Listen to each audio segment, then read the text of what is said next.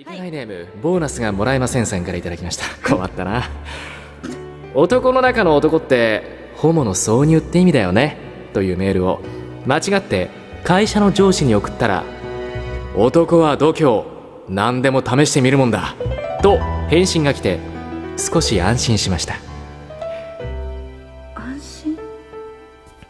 間違って送っちゃったんだね。はい。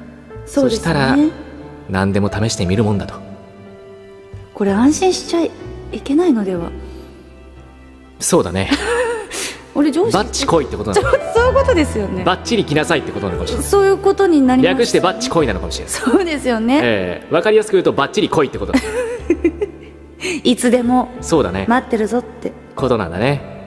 えそうえまあそうだね。ん。あのクビにならなくてよかったかな。あだからボーナスもらえないのかな。あじゃああ上司のところに行けばボーナスがもらえるのかしら？おっとそれは肉体的なボーナスだね。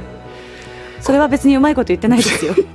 どっちかというとちょっと嫌な方に言ってますけど大丈夫ですか？分かんないね。わかんないですよねこれ。わかんない、ね、難しいねこれね。絶対わかんないよね